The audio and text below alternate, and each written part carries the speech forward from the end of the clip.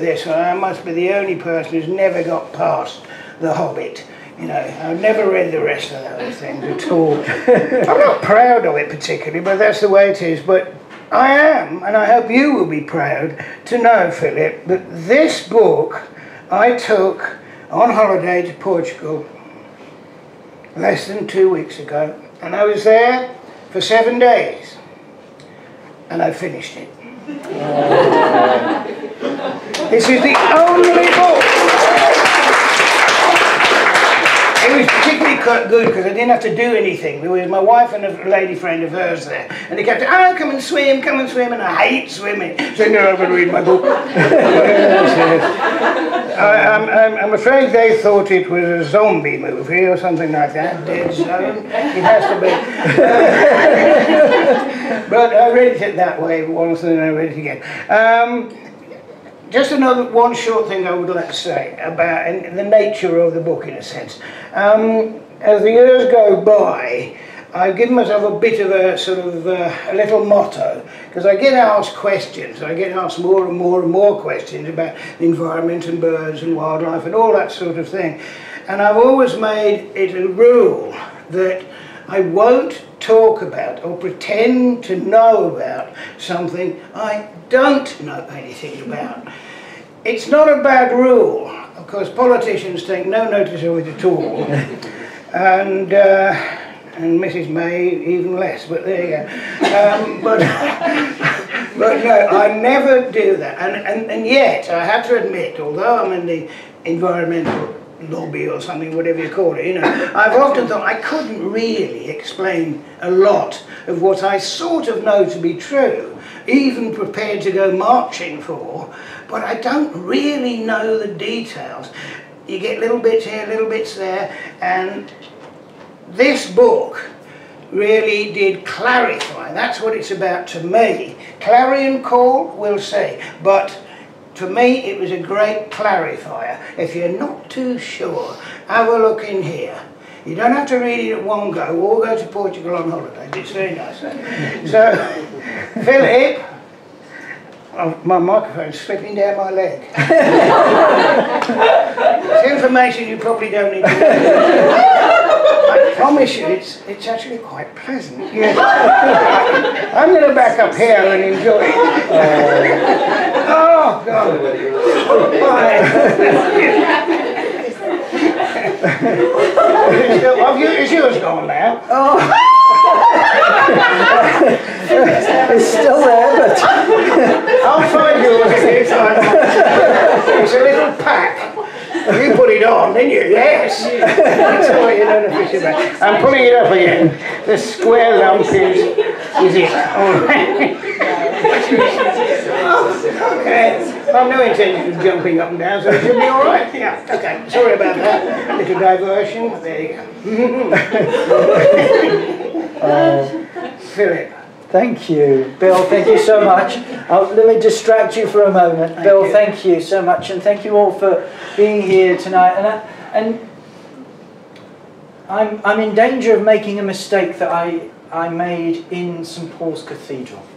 A few years ago, um, Compassion World Farming, so the organisation I'm proud to, to work for, was hosting uh, an event, an event that we are for this year hosting tomorrow, um, but not in St Paul's. And this is a big corporate awards event. And whilst we were in St Paul's, um, I, uh, I was thrilled that Bill was going to be our Master of Ceremonies.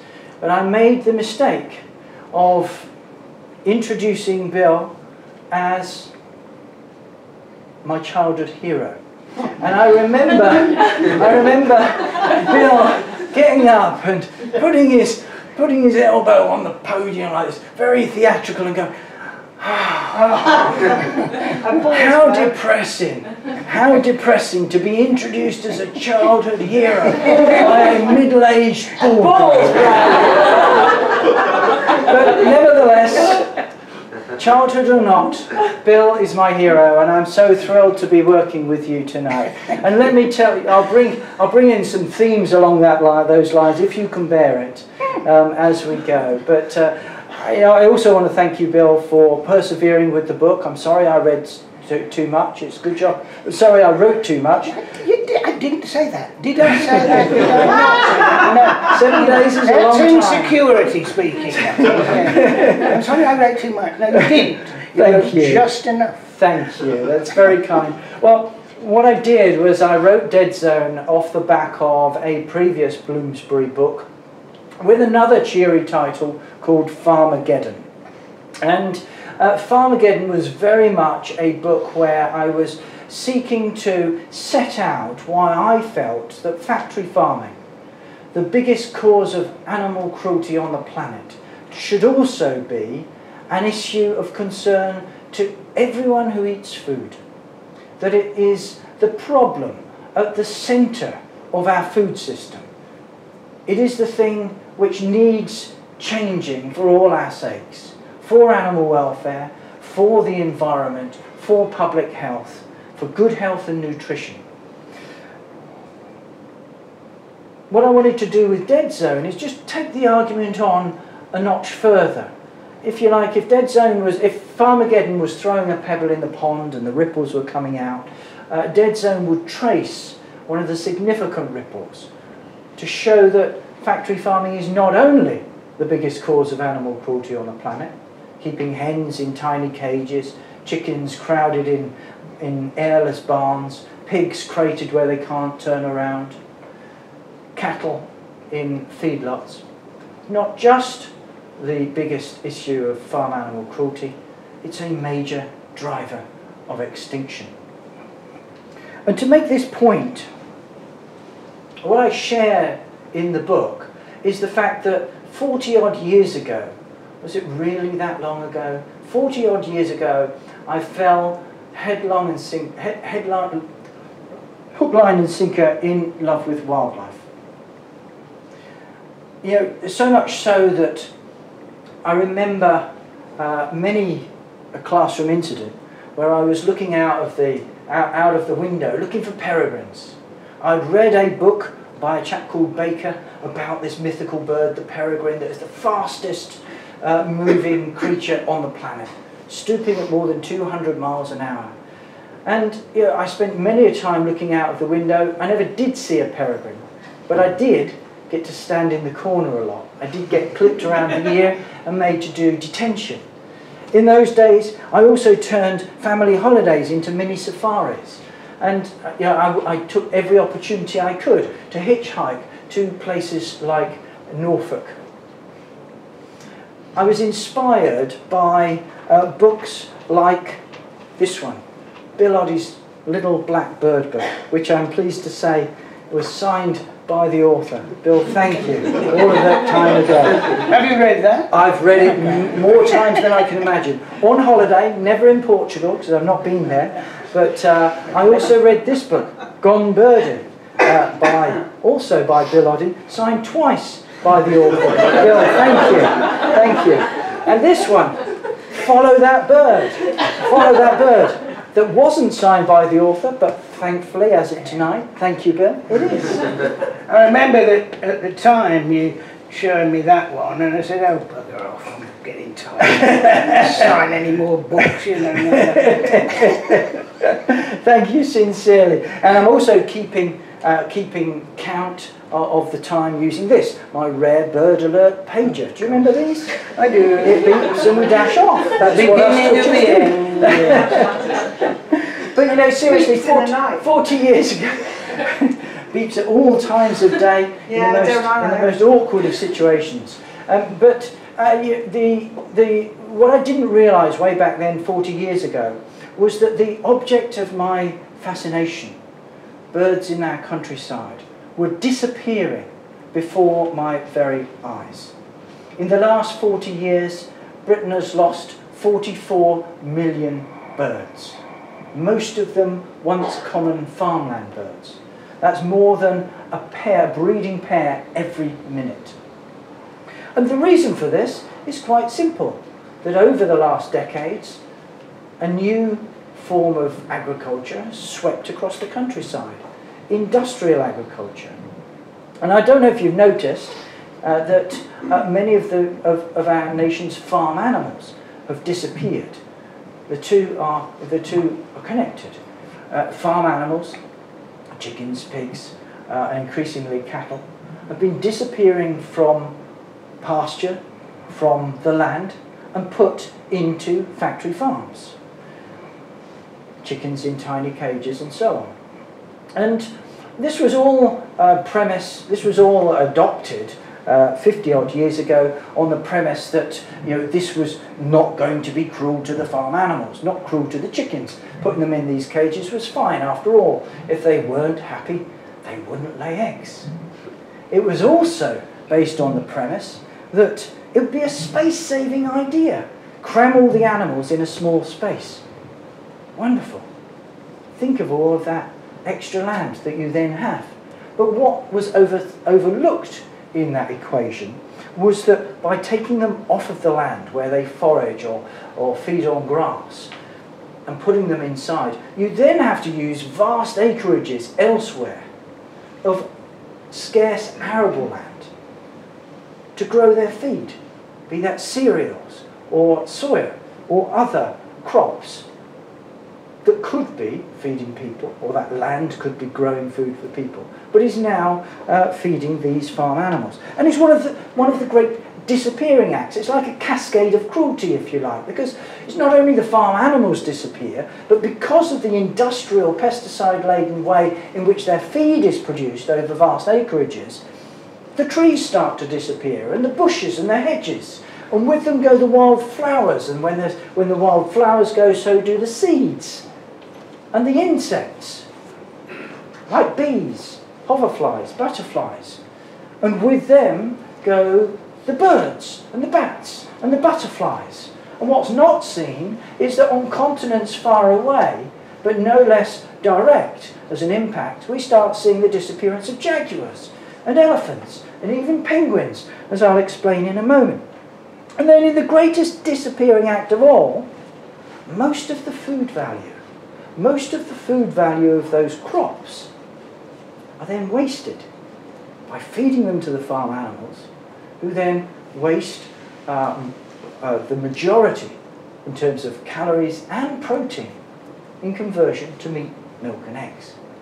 What we've set up is this competition, essentially, between people and animals for food. How big is that competition now? Well, it's getting out of hand.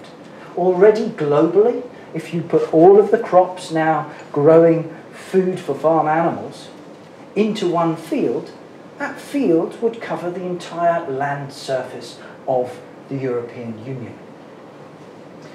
Putting it another way, if the animals were restored to the land where they're not in competition with people, and that, that arable land were feeding people directly, then those crops could feed an extra 4 billion people on the planet makes you think. Huh? And what we've seen as this cascade of cruelty, as this industrial agriculture sweeps across the countryside, is every year we see a new successive, a new all-time low for our birds, be they skylarks or lapwings or turtle doves, you name it. And I'm, I'm a, as I know Bill is, I'm a huge supporter of conservation organisations I've been, uh, for, for those 40 years, I've been a supporter of the Royal Society for Protection of Birds, the RSPB, a charity that I love. I love with all my heart. And, and I think that uh, you know, they do amazing work, conservation work, bringing back things like avocets and red kites. And yes, I was there, and I say in the book how I was there the night the first avocets hatched out and returned to breed at the RSPB Reserve of Titchwell up in Norfolk, which Bill, you know well too. Mm-hmm. And, but, you, but you see, those conservation success stories, in terms of the numbers, they're bringing rare birds back, marginal birds back. You know, if you double or treble the numbers of those rare birds, the overall number is still low. What we've seen over the majority of the countryside and by the way, agriculture accounts for 70% of the entire land surface of our country here in the UK. As industrial agriculture sweeps across that countryside, so those once common farmland birds over much of the countryside get squeezed out onto nature reserves where they become effectively refugees. Hmm. It doesn't have to be like that. As, as Bill, you'll, you'll know, we'll talk about this in a moment, it doesn't have to be like this. And what I've seen very locally, I live in a Hampshire village. I'm very privileged to do so with my wife Helen. And uh, one of our neighbours is an award-winning conservation farmer. He runs a, a, big farm by UK standards, five times bigger than the UK uh, uh, national average. And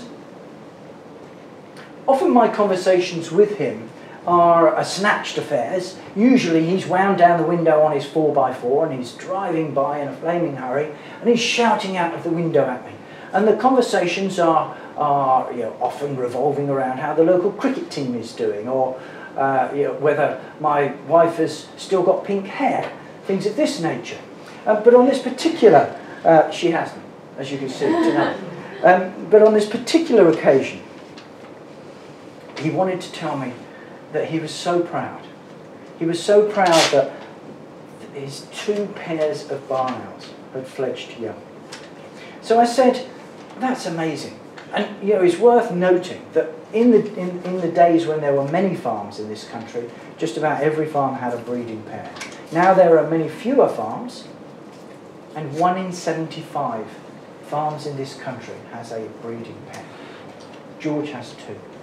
So I asked him round for breakfast, and we had a, you know, the best conversation I've ever had with him. And he came round and he said, "Oh, Philip, I've just been talking to the local RSPB," and I said, "That's fantastic, love them." And he said, "Yes," and I've been telling them how birds on my farm are coming back. They're bucking the national trend. And I said, "George, that's amazing. What's the secret?" And he said to me, "Well, Philip, it's not rocket science." It's mixed farming. That's what I do. Mixed farming. And what he meant by that is that farm animals, cattle and sheep in this case, are restored, not overstocked, but restored to their ecological niche on his farm, and they move round in rotation with the crops, building soil fertility. He's leaving areas for the wildflowers to come back, and so he's seeing the bees coming back, and he's got a whole range. He's got half the uh, the country species of butterflies on his, on his farm. And it just shows you what can be done. And Bill, you, you, you and I had a conversation um, around the book maybe 18 months, a couple of years ago, and you were talking about how things have changed in your lifetime. Well, yeah. You've noticed uh, change I mean, in the countryside. Simple, simple statement is that um, you have to be quite old to actually remember what it was like. And that's honestly true. And I mean, you know, if uh, I, one's grateful to everybody who gets into conservation. If they're young people, terrific, you know. And I think uh, I hasten to add, I don't know whether I'm speaking to anybody here tonight who was involved in this, but anybody who voted in the last election the right way, I think you know what that was. Thank you very much. Thank you very much indeed, because it's one of the most heartening things I've heard for years, actually, that younger people got out there and said, you load of, you know, you know what I mean. but, um, yes. Uh, but, but you can't know what it used to be like. I often feel like, you know, if somebody goes to um, a nature reserve or a farmland and gets shown round, by the farmer or by somebody who's been there before and they see a lapwing or two, a skylark or two um, no doubt the person with them is going to say, ah, you should have been here 30, 40 years ago. And I, have had time and time again, I've seen that. I used to live on the edge of Birmingham. And there was a farm there, which I, have got my old notebooks going right back to when I was about 15. Uh, I was born in 1941, so you can work it out. Um, and uh, and I've got my own notebook there, and it's it, you know it sort of says the date and place and this sort of thing. And on farm field, stubble field, flock of 200 yellowhammers, and down here it'll say 50 tree sparrows, and so on and so forth. Large flock of lapwings, it's it, nobody's nobody now going out for the first time would see any of those things. So it's very difficult to know what you're doing, um, what you're sort of aiming at in a way. But I, I'm going to slightly take issue, I think. I warned you. You did. I slightly take issue with one thing you just said about, Mm. you said they're refugees Mm. on a nature reserve. I mean, I'm a, I, I am afraid of the opinion that not only Britain but the world in general is very close to the stage where there is virtually no natural countryside left. And the only way to guarantee that there is a space for wildlife is for a kick-off to own that land. So it's not the government's land, it's not Lord so-and-so's land. Some NGO has got together with other people, raise money. It happens all over the world. I do quite a lot for an organisation called World Land Trust and they have reserves all over the place, South America, India, everywhere, which they've bought. They don't own them, but they work in conjunction with local people who are into the same thing. And I think they prove absolutely irrevocably that the only way of hanging on to quite a lot of these species is to create reserves. Mm. So I don't, I know you mean refugees, but I, let's look at them as if they're on holiday. And a- Absolutely, A yeah. nostalgia holiday or something like that. They're going back, my God, it used to be like this 30 years ago. And it does work, it does work. You only have to say, look at the birds that are now common here, you know, to younger people going out now into the countryside and saying, blimey, red kites are all over the place, aren't mm. they? When I was a kid, there was one pair nested on a, in a river valley in the middle of Wales and you had to go there, drive around for about three days before you saw it about a mile away and probably convinced yourself that it, that buzzard was actually a kite or something like that. Um, but now they're everywhere because they've been introduced into the right places by people who know what the right places are. And that's, that's, that's happening with quite a few species. Yeah, yeah, no, that's absolutely right. And, Bill, we, we could be in danger, you know, of uh, vigorously agreeing with each other. No. Because uh, and you won't, we, we won't want that because uh, you, you, you, you promised a, uh, uh, a, a Paxman-esque No. uh, thing. No, you didn't. Uh, Mrs. the- Merton. no, the, the um, yeah, the point that that, that uh, I would make, and I've I, I've been a passionate, I am a passionate believer in nature reserves, as as are you. Uh, I know.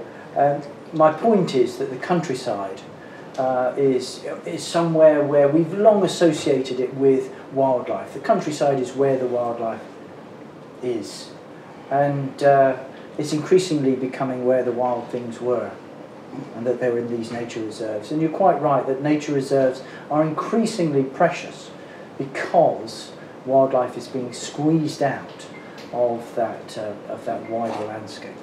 So I think that's the point that I've been making. And I know that you and I had a conversation also, Bill, about how um, uh, you, some within the farming community will uh, point the finger of blame at, uh, at many a scapegoat, sparrowhawks, foxes, Oh, God, What's yes. your What's your feeling on that?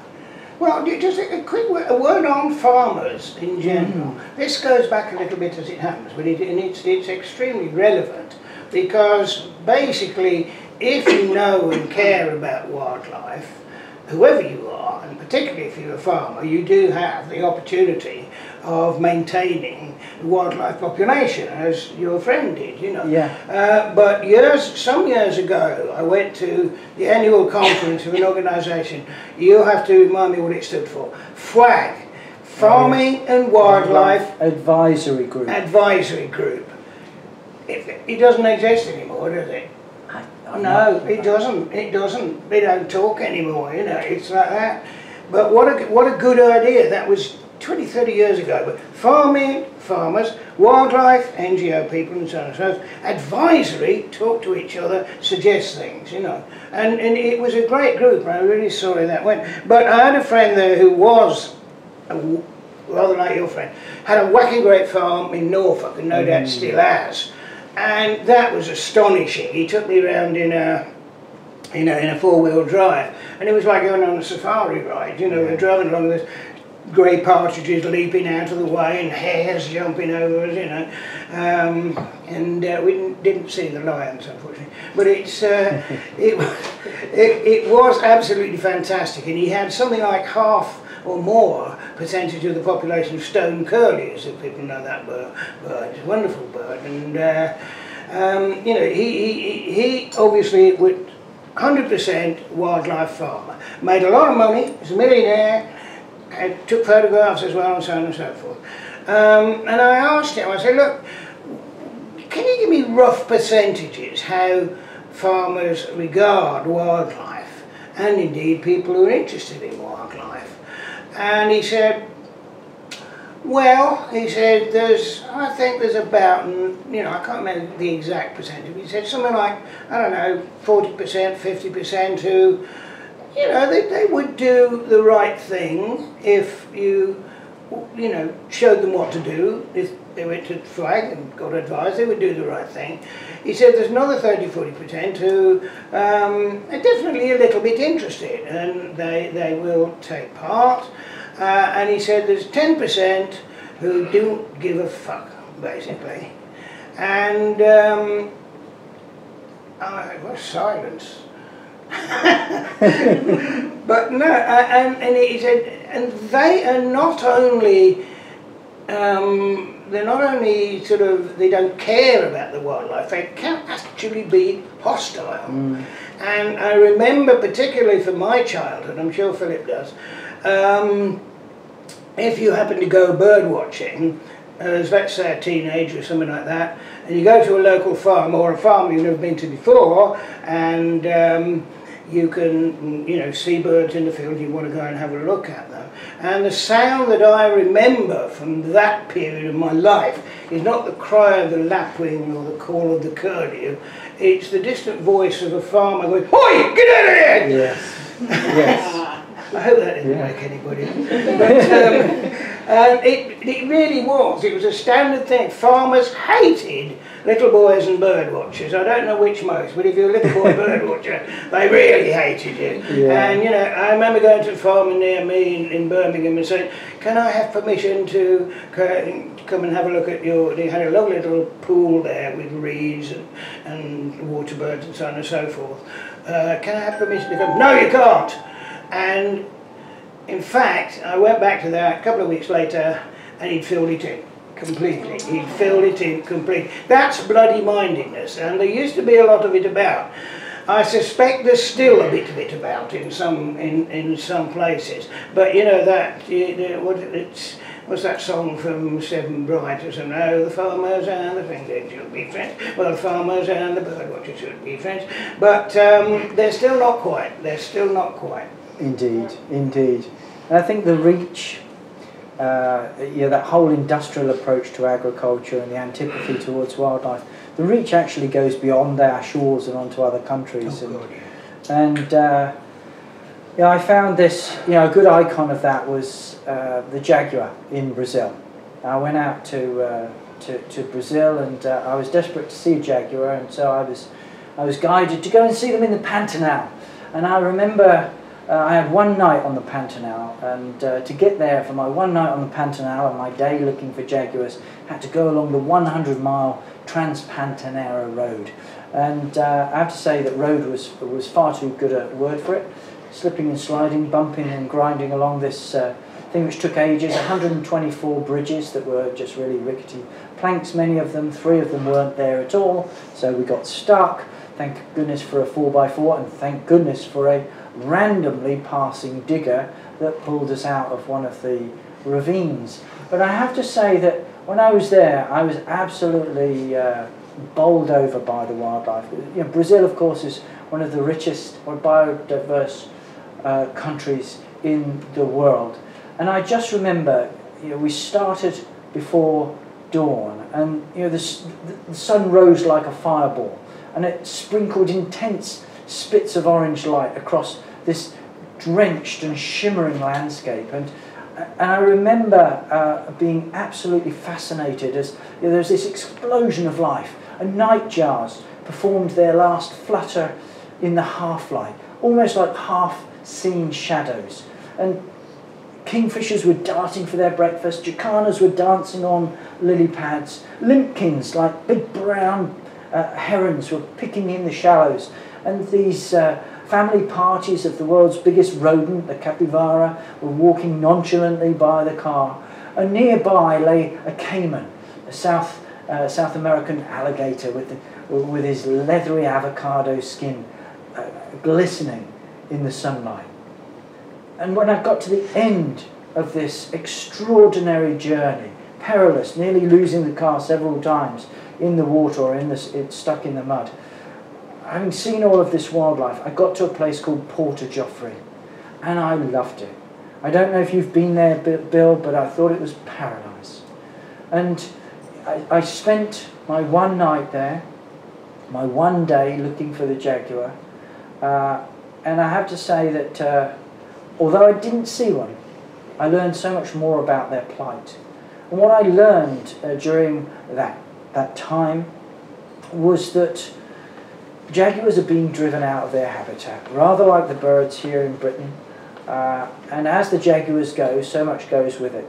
Being driven out as um, vast prairies, hundreds of thousands of hectares a year of new soya fields are invading former cattle uh, pastures.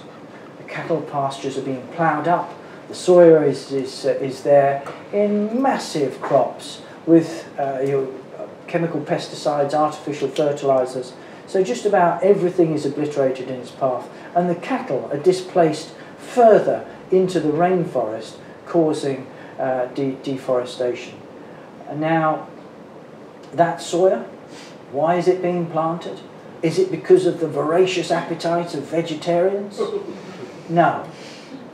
Most of it is being grown to feed factory farmed animals, much of it on other continents, including here in the UK and Europe. And whilst I was there, I, I fell to wondering how many people actually realise that, uh, that, uh, uh, that the reason why so much savannah and rainforest is disappearing is to feed factory farmed animals on other continents, here in Europe, in the UK. Because ultimately that's the bitter truth behind cheap meat, be it chicken or beef or pork, that it's raised on the deforested plains of South America. And on my one night there, almost as a consolation, I, the, uh, the hotelier brought me this, this brochure. As I settled down, I opened the brochure, and there in the centerfold was this picture of tourists eagerly uh, photographing the local jaguars. And these tourists are coming from all over Europe, Italy, Germany, UK, coming from the US as well, all over the place. And as I looked at that brochure, at that picture, I couldn't help wondering how many of those eager wildlife tourists had arrived there, stoked up on cheap meat from soya-fed animals. And it made me think how uh, the industrial agricultural tentacles reach out across the world, you know, rip out all the good in the countryside to make this feed to feed factory farmed animals. Philip, to play devil's advocate a little yes. bit, mm. presumably the food industry, farmers and the other people involved in it would claim that they are feeding the world, that yes. what they're doing is actually providing food without which people would suffer. What's your answer to that?